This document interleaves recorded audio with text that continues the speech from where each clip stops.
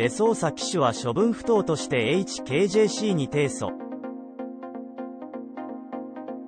香港ジョッキークラブは12日金曜日、バグネル・ボルヘス騎手と知るベストル・デ・ソーサ騎手という2人のブラジル人騎手に、それぞれ12ヶ月と10ヶ月の騎乗停止処分を課したことを発表した。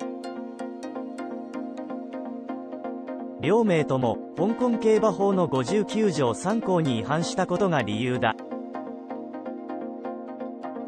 59条3項とは免許を交付されているいかなる機種も開催されているレースの馬券を買うことあるいは馬券を買うよう勧める行為を行ってはならず馬券を買うことに興味を持つことも禁じるという内容だ。両名がこれに抵触されたとされているのが4月26日にハッピーバレー競馬場で行われた開催の第6競争に組まれていたクラス3のハンデ戦コリアレーシングオーソリティトロフィー芝 1800m でボルヘス騎手は自らの騎乗馬ヤングブリリアント1004父ヘルメットの馬券を何らかの形で購入していた疑いを持たれデソーサ騎手はこれをそそのかした疑いが持たれている。結果的に単勝18倍の8番人気だったヤングブリリアントは7着に敗退。同じレースに出走していたデソーサ騎手騎乗のサティリカルグローリー1004父総優シンク19倍の9番人気は11着に敗れている。自身の馬券ならという意見も散見されるがレースにおいて騎手が結託した場合が問題になるのでやはり騎手の馬券購入はまずいです。具体的に人気薄の騎手に馬券を購入させ勝たせればいわゆる万馬券それ以上になる可能性もありますから。そしてそれを山分けするとなれば結託する利もあるでしょう。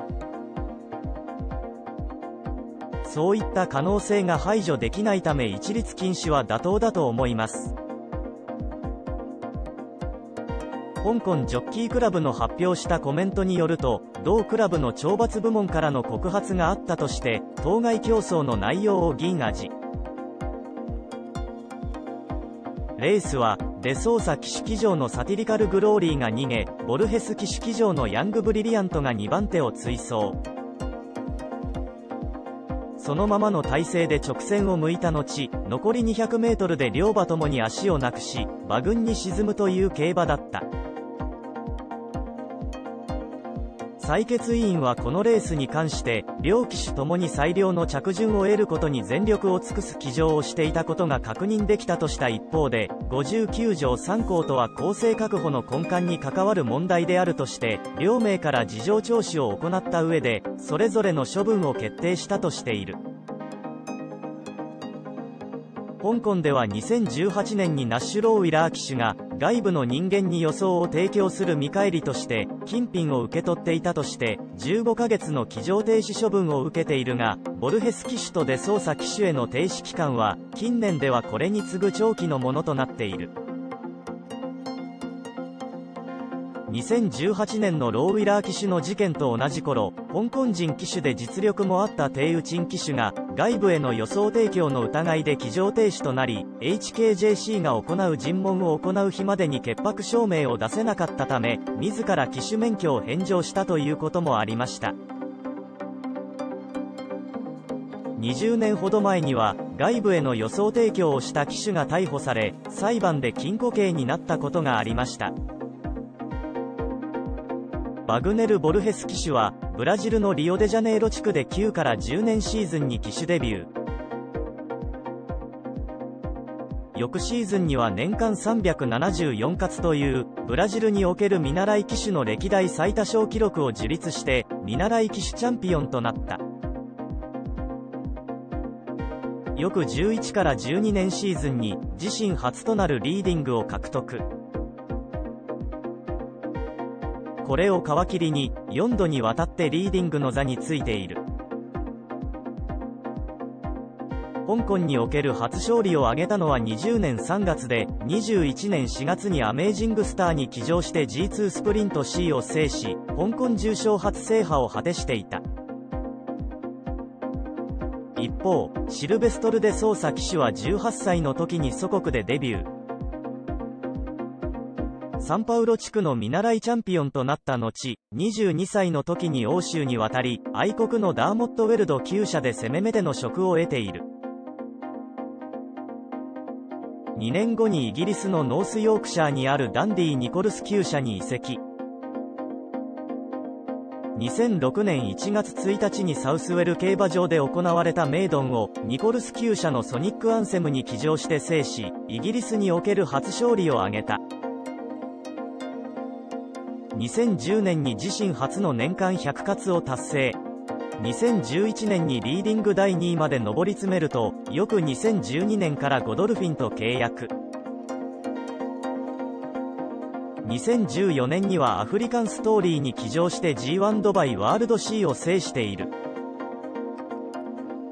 ゴドルフィンとの契約が終了した後、2015年に自身初めてとなるイギリスリーディングのタイトルを獲得。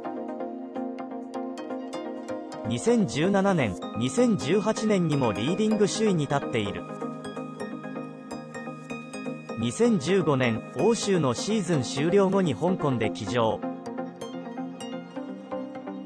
2018年にはグロリアス・フォーエバーに騎乗して G1 香港カップ制覇を果たしている今シーズンはここまで45勝を挙げ香港リーディングの第5位につけていた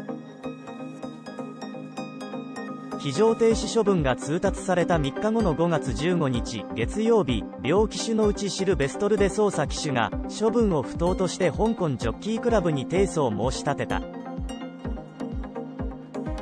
同機種の弁護人を務めるハリー・ステュワート・ムーア氏は提訴したことは確かだが現段階ではそれ以外に申し上げることはないとコメントしている。手は自身の馬券など買わずとも勝てば十分稼げるだろうに。それでレースでも負けて不正処分で今後騎乗もできず馬券も外れる。デメリットしかない。どんな確実性ある告発か分かりませんけど普通に考えてそんなことするかな。という感じしかない。処分不当で争い真実が明るみに出るんだろうか。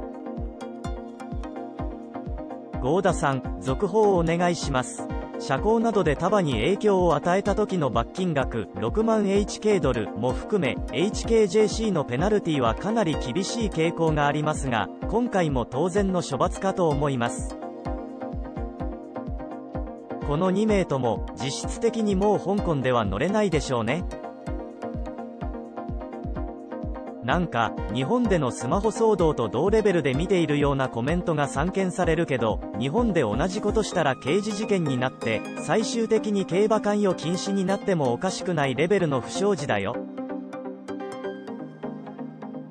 JRA 関係者による JRA の馬券購入は競馬法で禁止されていることなのでもし購入していたら検挙されますし外部に予想提供して見返りを得たりしていたら関与禁止処分になる事象ですね。スマホ使用も規則違反ではあるものの機種間の連絡にとどまっていて外部への通信ではないため1ヶ月間の機乗停止で済んでいますがもし外部と通話していたら確実に機乗停止期間が長くなっていたはずです。